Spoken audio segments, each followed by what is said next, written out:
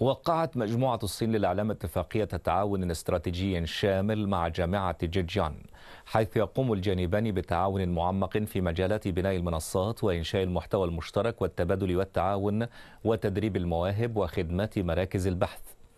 وكإجراء محدد للتعاون الاستراتيجي تم الكشف عن مختبر الابتكار المشترك AIGC وهو مصطلح يشير إلى المحتوى الذي أنشئ بواسطة الذكاء الاصطناعي وبشكل مشترك من قبل الطرفين.